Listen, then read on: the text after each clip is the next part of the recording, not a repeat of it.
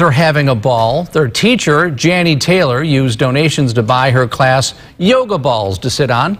She calls them stability balls. Now, Taylor says her students at Sycamore Canyon School in Newbury Park seem to pay more attention on their unique seats. If they bounce too much, they'll be asked to take, sit down, and sit in one of those regular seats, like the ones we're used to.